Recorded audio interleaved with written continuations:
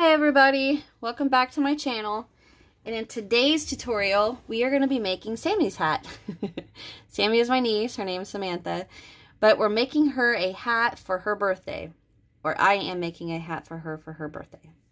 Anyhow, so, a couple things I wanted to talk about. I definitely wasn't going to do a tutorial on this because the pattern is just a simple, nothing special pattern. And then I got to thinking and I thought, you know what, maybe somebody else out there somewhere has a three weight yarn and they want to make a hat and they're not sure what pattern to use with it. So I was like, all right, fine, we're going to do a tutorial. So here we are. So I have a little pom-pom. I got these off Amazon. They're so multicolored. I thought that was really cute. I'm going to show you guys how we're going to fluff these. Okay, but anyhow, you're going to need a skein of any three-weight yarn, but I have Yarn Bee Urban Chic in the color Caribbean Vibes. Let's look at some of this info. I used a 5 millimeter hook, pair of scissors, yarn needle. You, you might need a stitch marker. You might not. So how this hat works is we just start, we have a three row repeat. A row is single, row a half double, row a double crochets. That's it. And we work that, work that, work that, work that. Now I know my niece's head dimensions. now, I want to tell you guys, so let's say you're working this up and you're working this up and you, you're getting closer, you know, to the top to where, because this is a drawstring, you know, how we close our, the top of our hat with just a drawstring. And let's say you guys aren't sure, you know, is it big enough? Do I need to go more, add more rows or whatnot? I'm going to give you guys a little piece of, a little hint, I'll say, that I use whenever I'm making a bottom up hat. And I need to know, you know, is it going to fit or not? So what I do is I work the pattern and I work the pattern and I work the pattern and I get so far up and I, and I think, ah, I don't know if this is going to be long enough. Because once you drawstring that top together, you, you lose length, right? Because it's all getting bunched at the top. So what I do is I take my hand and I make sure I grab, let's pretend this bottom is the top because this is essentially what it's going to look like, right? So what I do is I just bunch this up in the top of my hand, in the top of my hand. I bunch this up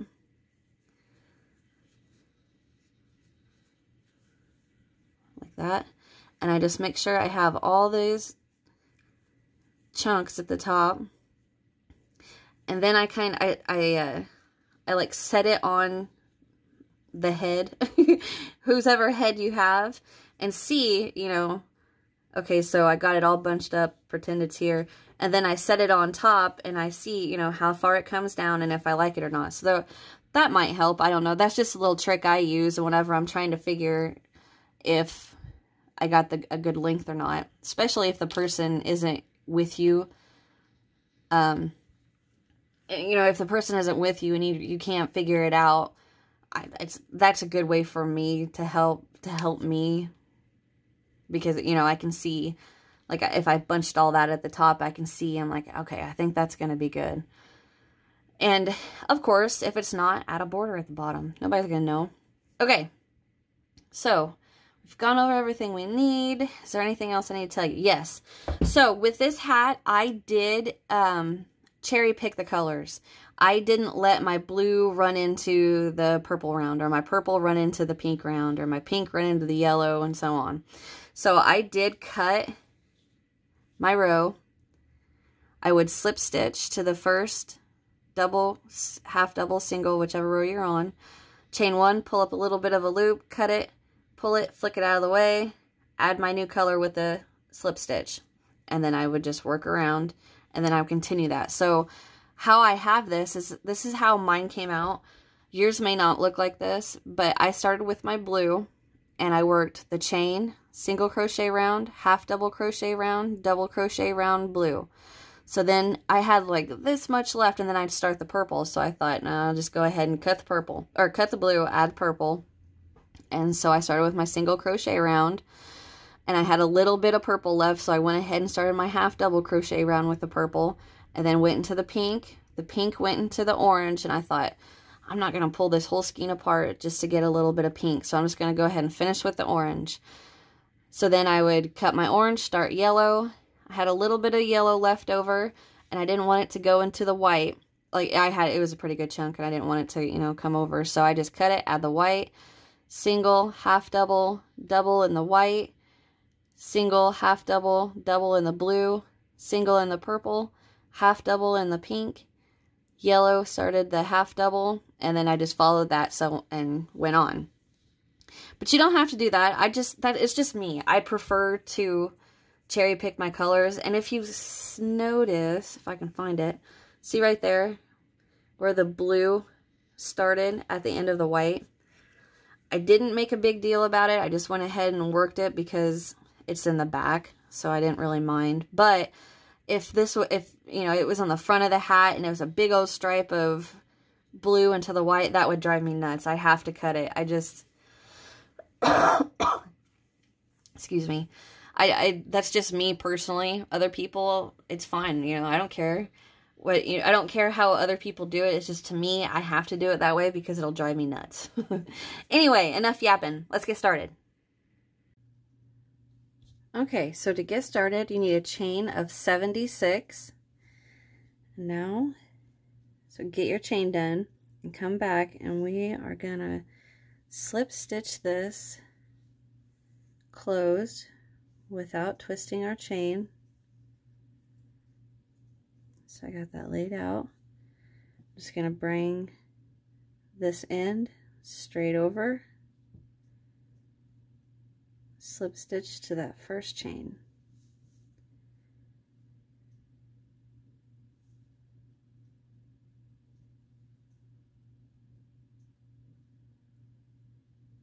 Chain one. I'm going to go ahead and pull that tail tighter. Okay, so for row one, all we're going to do is work single crochets. We're single crocheting right back into the stitch we slip stitch to and just slip stitch in each chain all the way around.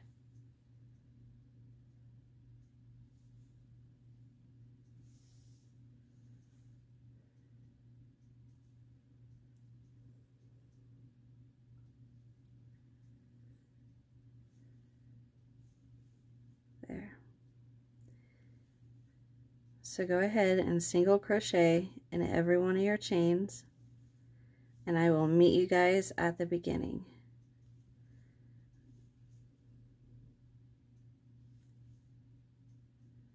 Trying to focus. Alright, I'll be right back.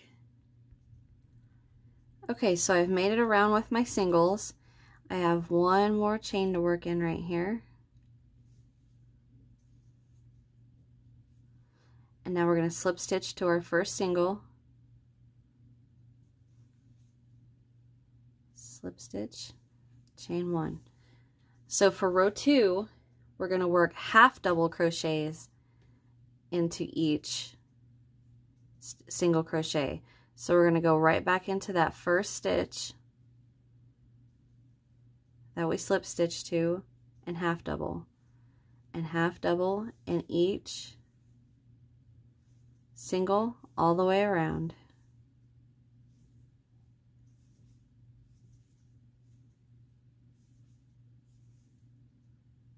So go ahead and repeat this all the way around and I'll meet you guys at the, at the end of the round. Okay, so I've made it back around with my half doubles I have one more single to work into. And we slip stitch to our first, which is right here. Which is right here. Here's our slip stitch, our chain one, and our first half double. So we slip stitch into there.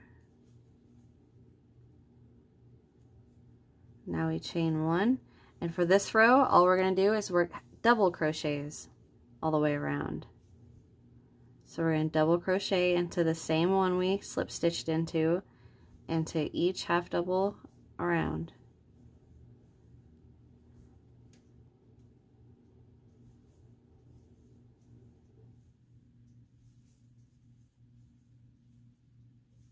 So go ahead and repeat your doubles. Repeat your doubles. so go ahead and double crochet in each half double all the way around and I'll meet you guys at the beginning. Okay, I've got one more double to work for this row.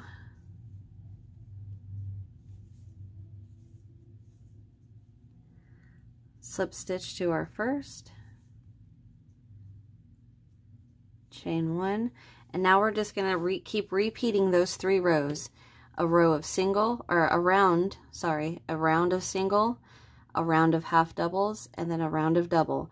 And we're just going to keep repeating those three rows going around and around and around and around. And I'm going to come back and I'm going to let you guys know how many rounds I work to, and how high we're going to work it up. So go ahead and get yours started and, I'll, and come back here and I'm going to tell you how many I'm going to do Okay guys, I'm back and I've repeated the single round, half double round, and the double crochet round until it measures about seven and a quarter inches.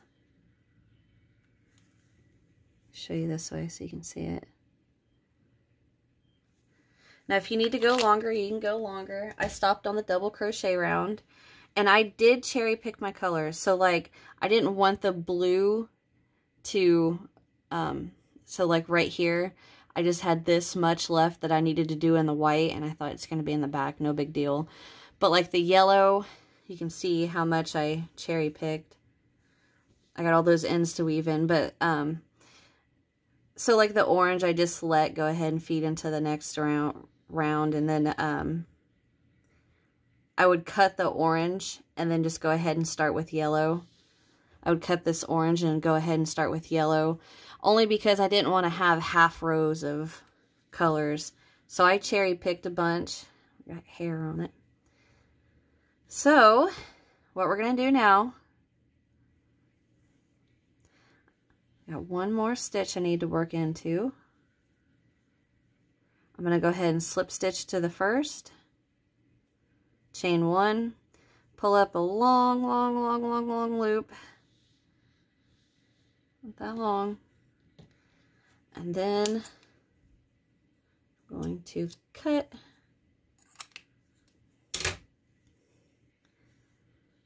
that out of there. I'm going to get my long tail here. Put this on my needle. And if you guys notice, the last couple of videos, or even in this video, all the little nicks and scratches. Can you guys guess what I have in my house? What I just got and we just got new in our house? A kitten, and he's vicious. okay, so all we're going to do now is we're going to take this long tail and we're just going to start weaving in and out, skipping a stitch each time. So we went in, skip, out, skip, in, skip out. And I'm trying to make sure I don't go through any, like I don't split the yarn. So I'm out, I'm to skip in, skip out, skip in, skip out.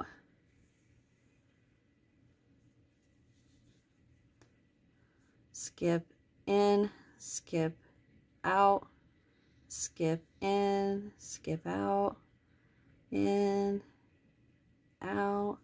And I'm going to repeat that all the way around. And if you need to, you can go ahead and mark this. Mark where you started. Right here. I'm just going to put a piece of scrap yarn through there.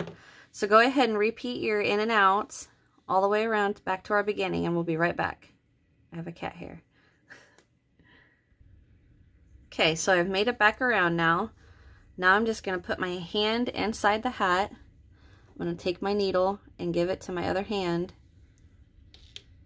Set that to the side. Now I'm going to take my other hand, I'm going to come in here and I'm going to hold my hand like this, like this, and I'm going to catch everything that I'm pulling tight up here. And the reason I want to do that is because you can kind of, not very well, but you can kind of control how the top of your hat is closing.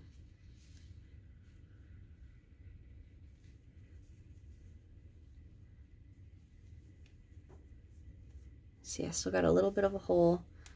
I'm going to go ahead and turn it inside out. Pull that as tight as I can without snapping it.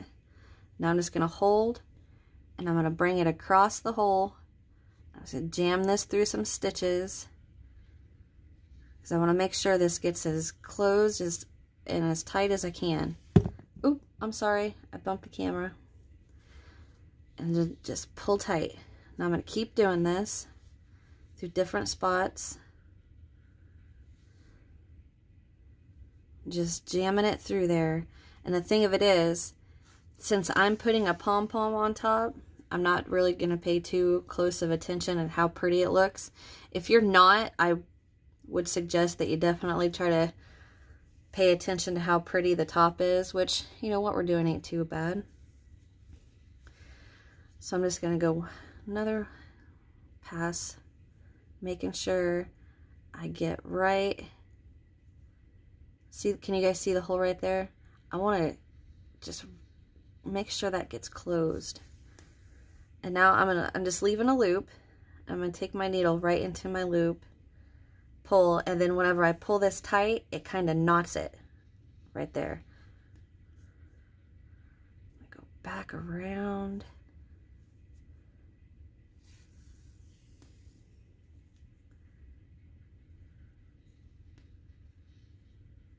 Went ahead and weaved it in there and pull tight.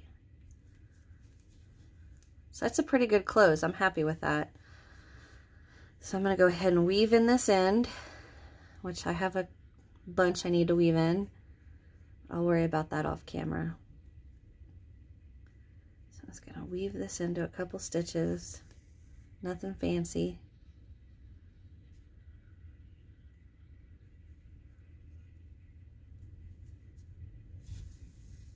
All right, now I'm just gonna go ahead and cut this.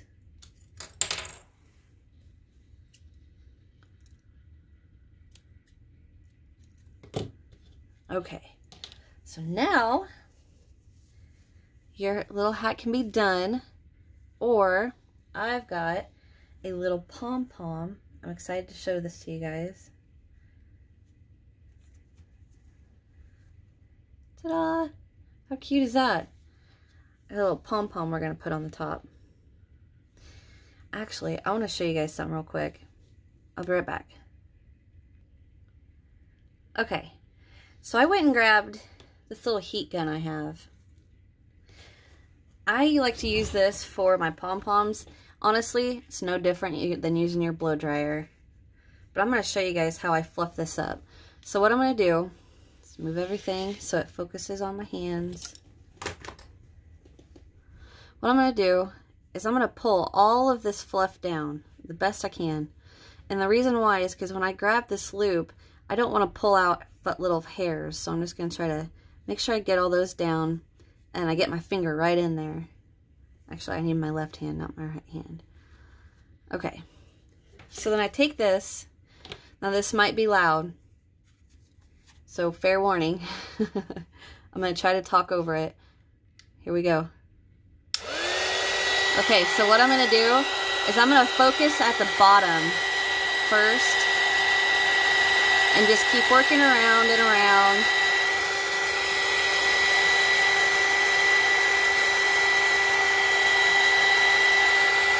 It's not burning my fingers or anything like that. You see how it's all fluffed up? So now I'm going to hit it in between, like, you know, just like a circle around it. So it fluffs up all these parts that are at the top and not just at the bottom. See how it's all laid down now? Now I'm going to go back to the bottom and then just keep fluffing it. Give it a couple shakes. It's all fluffy. All right, so to attach the, our pom-pom, I still have that my little scrap piece. I'm just going to run this needle right through there. That's on our pom-pom. I'm going to take our hat and I'm going to make sure I go like I can I know that the hole is right here, right? So I'm going to go each piece of the yarn is going to go on either side of the of our hole. So I'm going to start on this side. Just go right in there.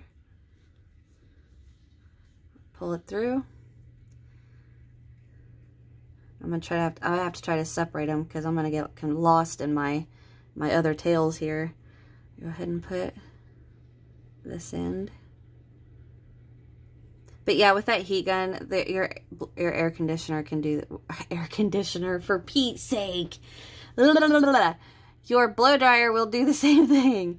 Okay, so I went in right here, so I'm gonna go straight across and go right in there. And of course, I love. Nope, I didn't. Here it is and I'm going to pull them through. Grab both, pull tight.